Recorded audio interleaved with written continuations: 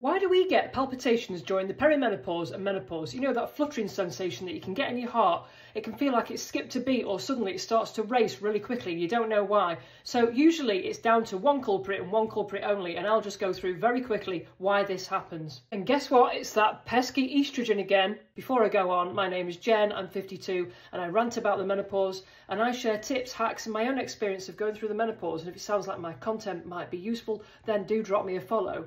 As estrogen levels drop going through the peri and the menopause, this can overstimulate the heart, and estrogen actually helps to regulate the entire cardiovascular system. And so you can get that fluttering sensation, or you suddenly feel like your heart is racing away and you just don't know why, and you don't know where it's come from. It can happen in the middle of the night, when you're watching telly, when you're watching a film, when you're going for a walk, you name it, it's the most random times. Now, this has to be one of the most horrific menopause symptoms ever. At one point, I was getting hundreds a day, and this went on for about three or four months during this particular phase.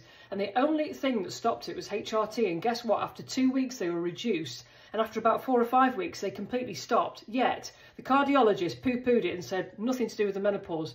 So if this is you, you're not going mad because this is definitely a menopause symptom.